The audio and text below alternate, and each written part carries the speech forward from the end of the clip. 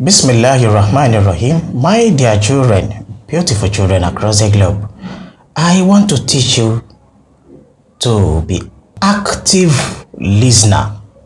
Active what? Listener. Who is an active listener?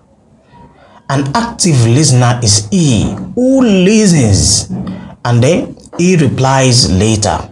So you don't say when the elder is talking to you, immediately you say your heart. No. Carefully listen and you think deeply about what an elder told you before you say anything. Think very well. Is this I'm going to say sounds respectfully? Is this I'm going to say sounds responsible?